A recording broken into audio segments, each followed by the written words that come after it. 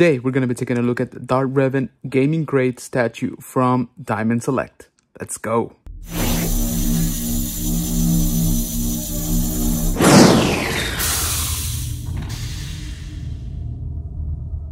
Hello there troopers and welcome back to General Kenobi's Bunker. Today we're going to be doing an unboxing of the Gentle Giant Diamond Select GameStop exclusive gaming greats Darth Revan statue. Let's hit it. So let's go ahead and take a quick look at the packaging. We got a big front window, window on the top, on the side, and then on the back we get a picture of our statue. So here is the tray shot. Uh, this thing is massive. You can see my hand here. Um, it does come with a little bit of a catalog for uh, Gentle Giant. Very cool, but now let's take it out of its packaging. And here it is finally free of its confinements. Um, really really good looking statue. Um, it's got some really nice details if you can see that.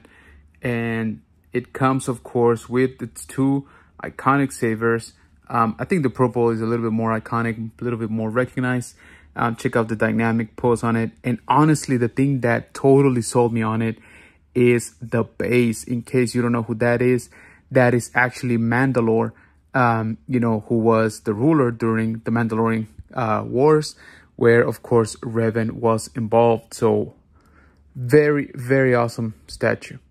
And this is just what it looks like from behind.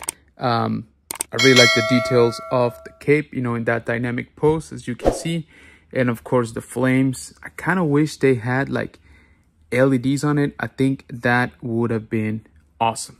Alrighty, trooper. So here it is uh, in my Detolf where I think it's going to look just amazing. Um, right now he's at the bottom level because that's the only spot that I had open. I don't know, now I'm rethinking how good this thing looks, so I might have to bump it up. Uh, but anyway, very, very happy with the way this looks. I'm so glad that it actually fit inside the Detolf. Um, it still had a little bit of room to spare, but you know, the length of the sabers and the length of the cape definitely got me wondering. But luckily, I think we did a good job with it.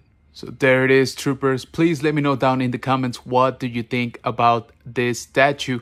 Um, I was actually surprised. It's very light. It's well made. It's got good details. For the price, I think it is a definite pickup for anybody that is a fan of Revan, and honestly, who isn't? Which is, you know, he's one of the most uh, famous characters to come out of a video game, and he's quickly become one of the most beloved characters just in Star Wars in general. So I think any collector would be happy with this piece.